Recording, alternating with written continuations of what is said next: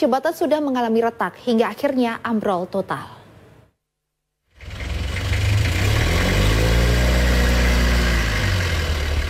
Sebuah mobil ini terpaksa putar balik saat hendak melewati jalur di Desa Sidomulyo, Kecamatan Sidorejo, Kabupaten Magetan.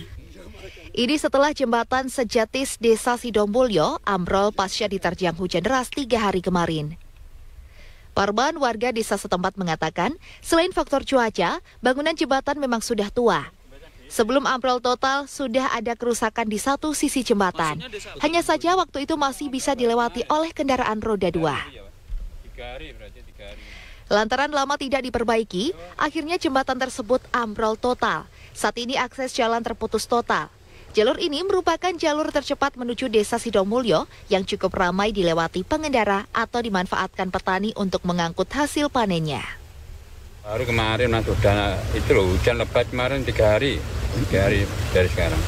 Memang sudah tua kondisinya pak? Udah tua banget ini. Sak saya ini aja bangunannya anu, saya masih kecil mas ini mas.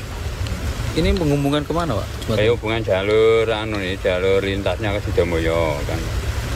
Jalan pintasnya kan sini. Ini ini jalan yang awal Sidomoyo dulu. Hmm. Selalu ramai di sini pak? Ya ramai mas, itu kan kan untuk untuk apa itu perjalanan dari orang-orang ke ya jalan pintas lah yang ini. Pihak desa dan warga sudah memasang tanda larangan masuk di jalan menuju Sidomulyo. Warga berharap segera ada perbaikan jembatan agar akses jalan bisa dimanfaatkan seperti semula. M. Ramzi, CTV.